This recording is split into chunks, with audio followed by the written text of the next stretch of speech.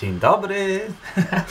dzień dobry, a dzisiaj naprawdę dzień dobry. Zobaczcie, w blasku dnia jeszcze nagrywam. Wow! Jak boski tutaj jesteś. Herbatka, od, odcień herbaty numer e, 7, ja wiem, ten rancik, złeka. A odcień e, herbatki numer 42. Mówiłem wam już kiedyś, nie, że jest e, oficjalnie 50, e, tak, 50 czy 52 e, standardowych odcieni herbaty z mlekiem. W zależności ile mleka się da. Kubeczek z Hiltonkiem moim kochanym, który sobie właśnie śpi obok i dobrze. A my sobie dzisiaj na rozruszanko. Mm, rozruszanko. Lubicie moje słowotwórstwo, nie? No, ja też lubię. E, postkomentum? No może. O, dawno nie było takiego po prostu gadania sobie. I odnoszenia się do komentarzy, za które w ogóle bardzo dziękuję. I za ich wysyp również. E, I za to, że jesteście mm, tacy wyrozumiali do mnie, mm, nawet wtedy, kiedy się ze mną nie zgadzacie. Cebas Official Vevo napisał do mnie e, pod filmem o karcie LGBT, kiedy tam troszkę plułem na to. Troszkę taki eufemizm. E, Napisał, że przecisz, przeczyściłby mi dyszę. Cokolwiek to znaczy. Od czyszczenia to jestem ja, ja jestem cleanerem, misiu, nie ty. I, I nie będziesz mi robił konkurencji. Sam sobie przeczyszczę dyszę. Em, LM86 piszesz bardzo fajną rzecz e, pod filmem Can Do Attitude. Moje motto na koszulce whatever it takes, a tego się trzymam w swoim życiu. Powodzenia ludziom, którzy próbują wyjść ze strefy komfortu i działać samemu pomimo trudności, ale nikt nie powiedział, że będzie łatwo. Znaczy, nikt nie, właśnie to wychodzenie ze strefy kom komfortu, to, to, to Can Do Attitude, to, to wszystko, o czym ostatnio mówię, e, nikt nie powiedział, że będzie łatwo, ale powiem Wam, bo to są e, nie tylko moje wnioski, ale jak się okazuje, zaczynają to być wnioski również tych z Was, którzy jak gdyby zainspirowani tym, co robię, e, postanawiają iść własną ścieżką. Są tacy widzowie, którzy te, właściwie z dnia na dzień postanowili przejść na swoją działalność gospodarczą. Cieszę się, że jestem taką inspiracją. Mm, e, I, I okazuje się, i słyszę od tych ludzi, że no, początki, nawet ten pierwszy przełamanie strachu jest najgorsze, a potem to wszystko jakoś tak fajnie samo. No prawie samo, bo trzeba troszeczkę się nastarać, ale to nie jest tak, że się, e, mówiąc brzydko, jebie bardziej niż na etacie. I to jest w tym wszystkim piękne. Em, Słyszę od widzów e, takie opinie, że właśnie to zderzenie się z otoczeniem, szczególnie z otoczeniem najbliższym nam, który mówi rodzina najczęściej, nie zabieraj się za to, nie rób tego, no co ty nie wyjdzie ci znajomi przyjaciele, też daj spokój, przecież tyle na rynku już tego jest, ty się nawet nie, nawet nie próbuj, bo się nie wbijesz. Nie słuchajcie tego. Powtarzam to cały czas, ja też nie słucham. E, jest takie z góry na dół jest sinusoida, jest, mam dni gorsze, mam takie dni jak miałem wczoraj, gdzie e, trzech klientów odwołało mi e, dokładnie jeden po drugim w ciągu jednej godziny. Przysłali mi wiadomości, że oni e, kancelują zlecenia, w sensie, że mm, rezygnują z moich usług, mm, bo coś tam, bo coś tam, bo wyjeżdżam, bo, bo jednak nie potrzebuję y, pomocy cleanera, bo coś tam. I to był taki dzień, gdzie mówię, kurwa, przyszły tydzień będzie prawie pusty. A dzisiaj rano wstałem, w skrzynce odbiorczej miałem e, dwa maile z zapytaniami, na które odpisałem. Jeden na, prawie natychmiast przyszła odpowiedź, czy ja mogę przyjść w przyszłą środę na, na mm, e, zobaczenie domu. Pani mnie zaprosiła, zresztą bardzo podała mi adres, bardzo niedaleko, na piechotę w zasadzie będzie 10 minut spacerkiem, e, że pani chce, żebym przyszedł zobaczyć w środę jej dom i ustalić warunki. No to idę w przyszłą środę rano, trochę wcześniej, na ósmą. No Dobra. Nie no, są ludzie, którzy wstają wcześniej niż ja. Ale tak mówię, wychodzenie z tej e, strefy komfortu jest fajne, bo jak już się z niej wyjdzie, z tej strefy komfortu, to się okazuje, jakim gównem ta strefa kom komfortu była. Że to wcale nie była strefa komfortu, tylko to była strefa dyskomfortu, który trzyma nas pozornie w stabilności i stabilizacji, a tak naprawdę trzyma nas w takim niewolniczym uchwycie, powodującym stres, frustrację, niezadowolenie, zmęczenie. Eee, ilu z Was wstaje rano i nie ma ochoty wstać z łóżka? Albo wstaje rano z, z tym, że idzie do pracy i nie chce do tej pracy iść. No to gdzie tu jest zadowolenie? Gdzie tu jest e, strefa komfortu? Gdzie tu jest komfort, jak ty idziesz do pracy, której nienawidzisz, albo której się boisz, albo, albo która jest dla ciebie jakim, jakąś, jakimś kompletną pomyłką życiową? I wiesz o tym, idziesz tam, mówisz, co ja tu właściwie robię? No dobra, płacą, ale, ale to nie jest mój świat. A robię to przez 8 godzin, bo mi płacą. Rób coś, co lubisz i niech ci płacą. I to jest też takie myślenie torpedowane bardzo przez bliskich i otoczenie. No co ty gadasz, przecież nie można. Słuchajcie, ja słyszałem taką opinię nieraz. Ja ją słyszałem, a moi znajomi czy, czy widzowie, z którymi rozmawiam, słyszą, też słyszeli. To nie jest tak, że to tylko moje otoczenie, to każde otoczenie prawie tak robi. Na zasadzie przecież nie można, każdy by chciał zarabiać pieniądze na tym, co się lubi, ale to się tak nie da. Każdy by tak chciał. Każdy by tak chciał, ale od chcenia do, mu, do morzenia jest, y, jest troszkę, troszkę drogi jest. I, ale jest takie przysłowie francuskie vouloir c'est pouvoir, czyli chcieć to móc. Vouloir c'est pouvoir, chcieć to móc. Więc jeżeli się chce, to się może. Tylko trzeba chcieć. I teraz to właśnie takie każdy by chciał, się okazuje, że w zas- w zasadzie nie każdy by chciał, bo gdyby każdy chciał, to by każdy to miał. Albo przynajmniej by spróbował to mieć. A bardzo w wielu przypadkach chcenie kończy się na chceniu. I ludzie nawet nie wychodzą poza próg swojego, swojego, y, swojego właśnie tej strefy komfortu. Nawet nie, nie uchylają drzwi na chwilę, żeby zobaczyć, co tam jest. Już nie mówiąc o tym, żeby tam wejść i zamknąć za sobą te drzwi.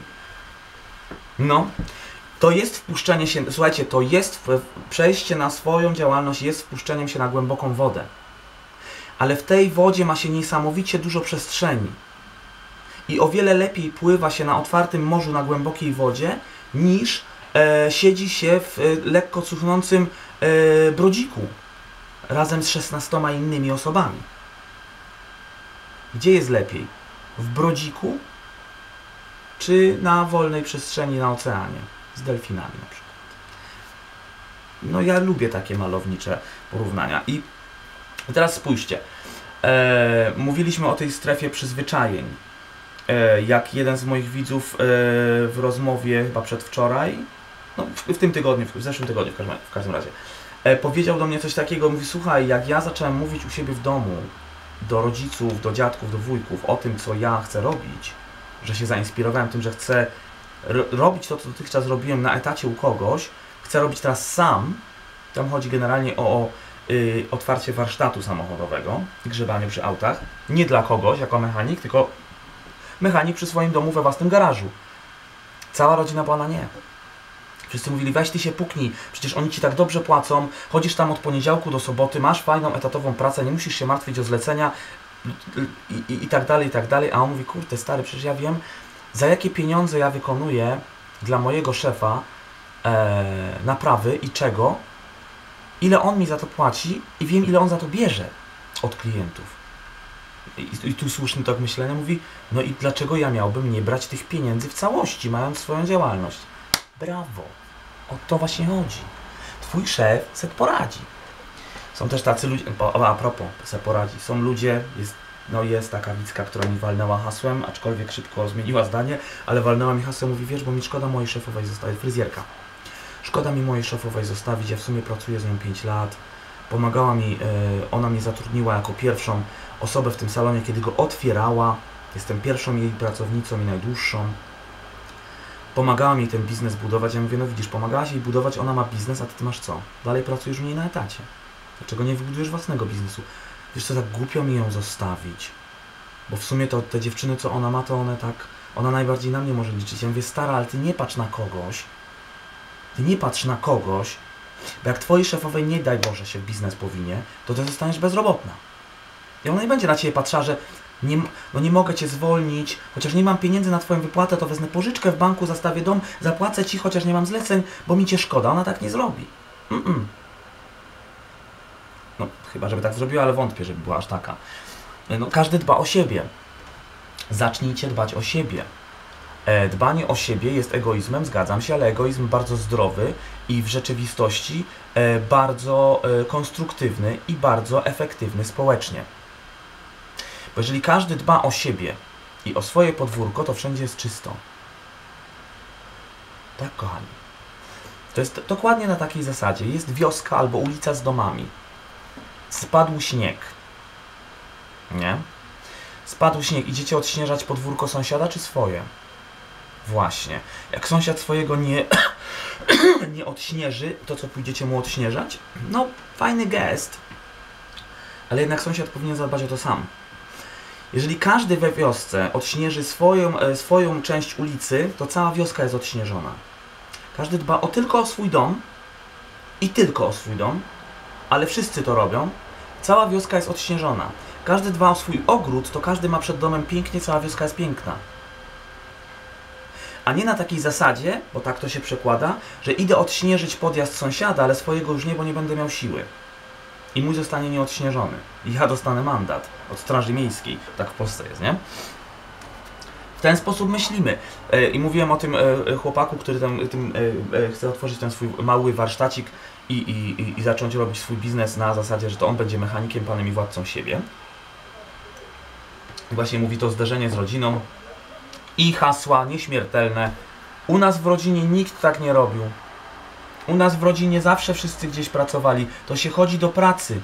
Do pracy. I, to, i słuchajcie, i to jeszcze takie hasła, bo to też często słyszałem. Hasło, trzeba iść do pracy. A to co, działalność y, własna w domu to nie jest praca? Ja cały czas, chociaż już y, to nie jest to, że tam to moja firma teraz to jest pierwsza firma w życiu. Ale ja mam w domu takie coś. Moja mama, chociaż jest osobą z wieloma przeżyciami i bardzo przedsiębiorczą i też w życiu prowadziła swoje różne y, biznesiki, to i tak ma wbite w głowę takie coś, że ona mnie widzi siedząc tutaj, przy moim biureczku i e, robiąc coś. I ona przychodzi do mnie albo pogadać, albo żeby mi gdzieś zadzwonił, albo żeby mi coś zrobił i cały czas przychodzi, ja mówię, mamo, przeszkadzasz mi. I ona się obraża. Przecież siedzisz i nic nie robisz. Wiecie, tylko dlatego, że siedzę w domu, to w, na przykład w umyśle mojej mamy lub innych domowników, to jest to, że ja, skoro jestem w domu, to znaczy, że nie jestem w pracy.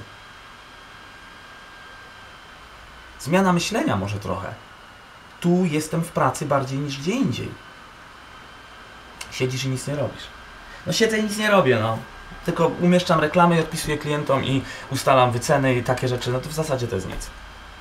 I też takie od znajomych można usłyszeć często, no ale co to, to takie, taki, taki swój biznes, co to jest? To do pracy byś poszedł, nie? Tak mówiłem wczoraj, do pracy byś poszedł. Czyli co, robienie swojego biznesu to nie jest praca. I na końcu już nieśmiertelne, każdy by tak chciał. No jak każdy by tak chciał, to niech każdy spróbuje. Co trudnego, co jest takiego, ja kiedyś to mojej znajomej powiedziałem, koleżance, która tak torpedowała moje pomysły związane z biznesem. Ja mówię, a coś też bym tak chciała. Ja mówię, no to a to czemu nie spróbujesz? No co, mam pracę zostawić? Ja mówię, a to to nie jest praca? Tu będziesz miała więcej, tylko będziesz musiała się trochę nachodzić na początku, nalatać za tym. No nie, nie, nie, no to nie, no to nie, no to ona woli od 8 do 16 jebać gdzieś tam i, i, i, i wydawać się jej, że, że, że się spełnia życiowo ale narzekać na tych, którzy próbują robić na siebie. E, bo to jest też takie patrzenie, moja bardzo dobra koleżanka całkiem niedawno mi powiedziała, z taką pretensją mówi, e, wiesz, bo to ja tu y, y, jebie overtime, czyli nadgodziny, pracuję od 6 do 16, po 10 godzin dziennie, a ty se tak siedzisz w domu, idziesz gdzieś na 3 godziny i masz taką samą dniówkę jak ja. Nie wiem, no. I ona z taką pretensją do mnie, że, że to jest niesprawiedliwe. Ja mówię, ale jak może, to jest niesprawiedliwe. To ja sobie zadbałem o to, że tak mam. Że pójdę na 4 godziny, przez które zarobię 80 funtów, czyli taką samą dniówkę jak ty zarabiasz przez 10 godzin. Ale gdzie jest niesprawiedliwość? Kto tą niesprawiedliwość wykreował? Pracodawca, który ci tak mało płaci. Jest to proste. Ja płacę sam sobie wypłatę, wypłacam. Dostaję pieniądze od klienta, a ona, te pieniądze nie mają pośredników w postaci mojego szefa, tylko idą prosto do mojej kieszeni w gotówce albo przelewem. To, to, co to jest niesprawiedliwe? Sama sobie tą niesprawiedliwość e, ciągniesz i masz pretensje do mnie, że ja postanowiłem tą niesprawiedliwość sobie ukrócić. No, no, no to tak jest. Fajnie jest, że jednak jest coraz większa grupa ludzi, która się budzi na tej zasadzie, że zaczyna iść, iść pracować na swoje. Na rynku pracy, nie tylko w Wielkiej Brytanii, w ogóle zaczyna być tak, że pracownicy zaczynają pracować na zlecenia dla swoich szefów. To najpopularniejsze chyba jest w branży IT, ale nie tylko, w innych branżach też. Że ludzie zaczynają pracować na zasadzie pracuję dla ciebie. Ja tak w ogóle postanowiłem, ja też tak zacząłem robić z moją e, pracą w restauracji. Ja byłem normalnie wciągnięty na listę płac e, jako kucharz a od, ty, od dwóch tygodni dogadałem się z moją szefową, mówiąc jej, słuchaj, bo i wytłumaczyłem jej, na początku ona była trochę na nie, bo jednak mieć pracownika, a mieć zleceniobiorcę to są dwie różne rzeczy.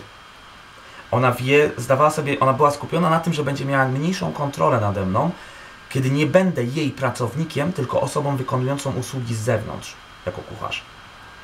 Ale ja jej wytłumaczyłem bonusy dla niej. Mówię, słuchaj, każdy mój rachunek, który ci wystawię, ty możesz odpisywać od e, podatku jako koszty uzyskania przychodu swojego, bo to jest zlecenie. Nie? Mało tego, ja jestem korzystny, bo ty mi wypłacasz całą pensję godzinową bez odciągania mi podatku, bo za podatek odpowiedzialny jestem ja.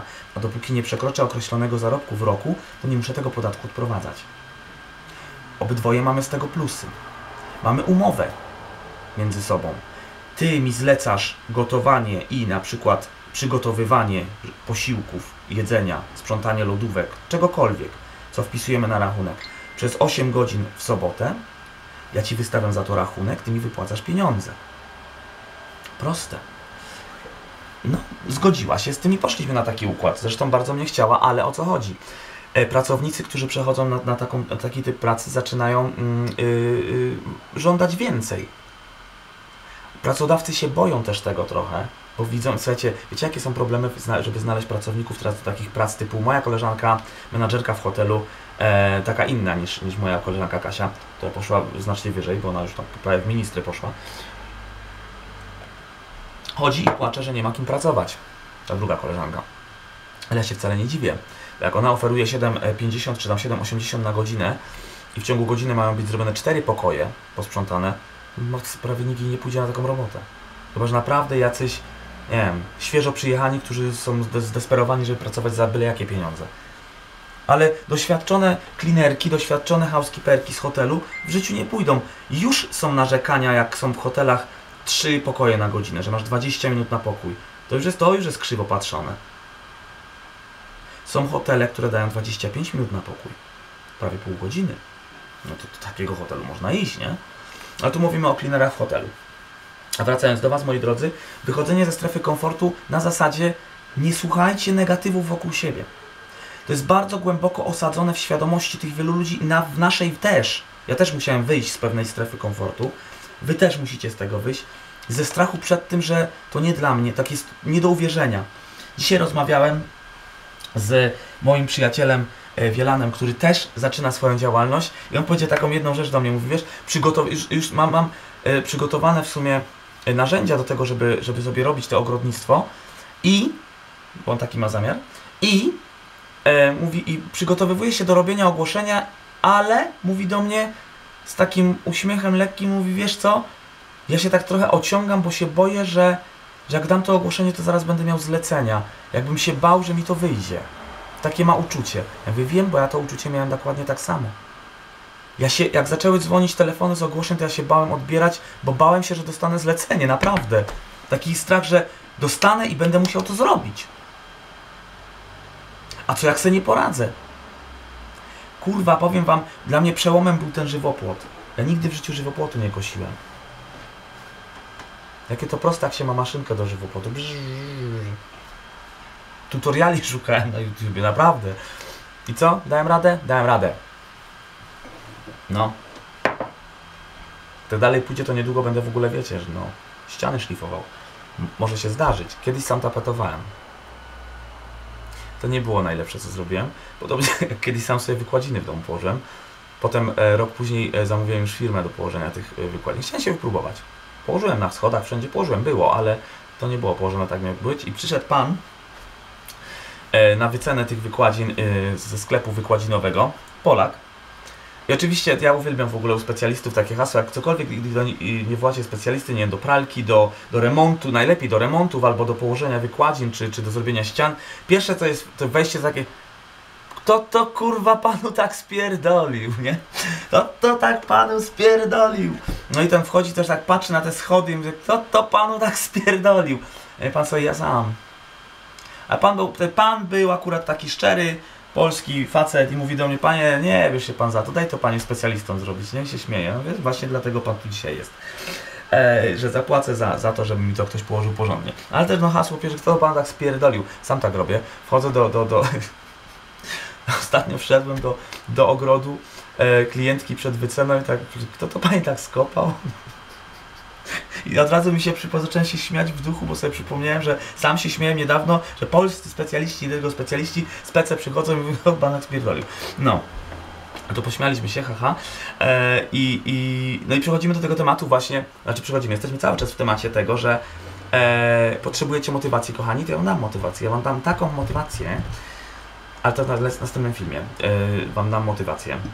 To napiszcie mi, jakiej motywacji potrzebujecie. Na razie motywuję, motywuję was do tego, żebyście przestali myśleć schematami, że wam nie wyjdzie. Po pierwsze, nie wiadomo, czy wam. Nie, ja nie mówię, że wam wyjdzie, ale ja nie mówię też wam, że nie, wam nie wyjdzie. Nie wiemy, czy nam wyjdzie, czy nie, dopóki nie spróbujemy. Jak możesz wiedzieć, czy ci wyjdzie biszkopt, skoro go nigdy nie piekłeś? Weź se przepis z internetu, ubij te jajka, wstaw do piekarnika, albo ci klapnie, albo ci wyjdzie. Jak ci klapnie, to się zastanów czemu, nie? Tylko rób to świadomie. To będziesz wiedział wtedy, który krok być może poprawić, zmienić, nie wiem, może za słabo białka ubiłeś, no cokolwiek, proszku do pieczenia za mało, albo wcale się zdarza. No, naprawdę. Jeżeli nie spróbujesz, to nie będziesz wiedział. A jak spróbujesz to i spierdolisz, to będziesz wiedział, co spierdoliłeś i następnym razem zrobisz to może lepiej. Może. A zależy, jak bardzo się uczysz. Tak to właśnie wygląda. E, e, Malwina, Malwa piszesz, mówisz jak Piotr Glass YouTube. Znasz? No nie znam. Właśnie sobie będę musiał wy-YouTubeować Piotr Glass i posłuchać o co chodzi. No. Wujek Wąt, cześć kochanie. A co, a propos Brexitu, że nie miałem rację. Wujek Wąt pisze, no i wszechwiedzący Michael miał rację, Brexitu nie będzie. A ja głupi wierzyłem w demokrację i trzeba było wierzyć w Jakubuskiego. Ja nie jestem wszechwiedzący. Ale ja wiedziałem, że Brexitu nie będzie, Brexit, bo nie wiem czy wiecie, ale Brexit został, e, e państwa Unii Europejskiej się zgodziły, aby Wielka Brytania przedłużyła czas e, do Brexitu do 31 października, czyli do Halloweenu tak naprawdę, czyli w Halloween będziemy wychodzić. Podobno premier Tusk powiedział do pani premier May, że e, żeby dobrze wykorzystała ten czas, tak jej powiedział. A w, mm, w przestrzeni internetowej natychmiast zaczęły się pojawiać memy, E, w postaci e, zdjęć pani Teresy May na wakacjach gdzieś pod palmami, jak dobrze wykorzystuje czas, bo tak to wyglądało w, w przypadku poprzedniego terminu, że mieli dwa lata i, i się opalali. A dzisiaj poszła informacja, że właśnie dzisiaj parlament od piątku, że parlament e, brytyjski od dziś ma przerwę świąteczną na Wielkanoc. Do Wielkanoc jeszcze trochę czasu, ale już mają przerwę świąteczną. Że dobrze wykorzystują ten czas na Brexit. Akurat Brexit wczoraj został przedłużony, to stwierdzili dzisiaj zaczynamy wakacje. Kurwa, bardzo angielskie. No, no tak, no, wujek wąt. A ja w ogóle wątpię, że ten Brexit będzie. Bo to było takie sesie. Teresa May na początku mówiła tak, e, umowa będzie, umowa już właściwie jest. Potem umowa została odrzucona, no to umowy nie ma.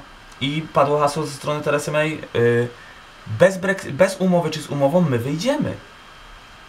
Byle jaka um potem było, byle jaka umowa jest gorsza od wyjścia bez umowy. Wyjście bez umowy jest lepsze niż wyjście z byle jaką umową. A teraz niedawno powiedziała, my nie, tak naprawdę to my nie możemy wyjść bez umowy. To nie jest, że my zdecydujemy, czy nie, my nie możemy. Się zastanawiam, że co, że wojna, czy co, nie wiem. Cześć Hiltonie, wstałeś? Dzień dobry, kochanie. O, PiS się obudził. Także wujek wąt, no, no na razie Brexitu nie ma, mamy czas, na, jeszcze mamy pół roku. E, o, Renata Librand-Mruz, piszesz do mnie, czasem lubiłam Cię posłuchać, a to pod strajkiem nauczycieli. Czasem lubiłam Cię posłuchać, ale widzę, że jesteś zwykłym, zgorzkniałym oportunistą sądującym co, kiedy i ile może powiedzieć, aby słupki oglądalności rosły, a przynajmniej nie spadały żałosne. Jestem oportunistą sądującym co, kiedy i ile może powiedzieć, bo wypowiedziałem swoje zdania zamiast strajku nauczycieli. Tak, Renata Librandmus, jestem zwykłym, zgorzkniałym oportunistą sądującym żeby zrobić sobie tak, żeby mi słupki oglądalności rosły, a w pokoju obok siedzi sztab wykwalifikowanych analityków, którzy robią właśnie taką analizę rynku dla mnie i potem decydujemy wspólnie na kolokwium redaktorskim, prawda, na kolegium, przepraszam, na kolokwium, na kolegium redaktorskim e, decydujemy tu, prawda, wspólnie e, o czym będziemy nagrywać. Jest mi przygotowany specjalny scenariusz, e, idą również e, oczywiście w mainstream informacje i reklamy, bo to jest, ja prowadzę przecież bardzo rozbudowaną stację medialną i zarabiam na tym straszne pieniądze, dlatego tak e, sądujemy wspólnie z zespołem, które słupki mają iść w górę, a które w dół. E, no, prawdopodobnie myślę, Renata Librand-Murz, że jesteś jedną z nauczycieli albo popierających strajk nauczycieli, nie spodobała Ci się moja opinia. Dzisiaj oglądałem materiał e, pana, który mi się bardzo spodobał, pan mi się spodobał. Nie dlatego, że jest przystojny, bo nie jest, ale e, pan mi się spodobał, e, pan się nazywał, czekajcie, gdzie on był? Nie, gdzieś był. E, pan był, e, pan był e, taki pan z fajką, on taki fajny, bo właśnie z tą fajką, z tą fajkę tak palił na tle takiego regału z książkami, taki pan profesor trochę. I on mówił na temat strajku nauczycieli, że na, no, taki był tytuł odcinka i taki, taka była treść, krótka, pięciominutowa, że według niego nauczyciele już ten strajk przegrali, jak tylko go zaczynali, bo tak naprawdę stracili zaufanie społeczne. Moim zdaniem też przez ten strajk E, zawód nauczyciela, który jest jednym z zawodów zaufania społecznego, przestał nim właśnie być. No szkoda, no ale co? Dobra. To ja em, wracam do mojej pracy, czyli do nic nie robienia przed komputerem, bo to jest praca. I potem będę analizował właśnie słupki, żeby mi nie spadły, to muszę zanalizować jaki temat sobie wybrać na przyszły tydzień, żeby zarobić cholernie dużo kasy na tych moich wyświetleniach. Taki majątek zarabiam, że w zasadzie chyba zacznę te pieniądze rozdawać, bo może przekażę je na nie jakąś fundację związaną z Brexitem czy coś. Nie, nie mam pojęcia, coś wymyślę. Kochani, e, a póki co e, trzymajcie się i zapraszam Was serdecznie do oglądania pogodanek na temat tego, jak wychodzić ze strefy komfortu. Poprzednie odcinki znajdziecie tutaj w kartach, żeby Wam się nie nudziło. Pozdrawiam serdecznie, mi się moje papa.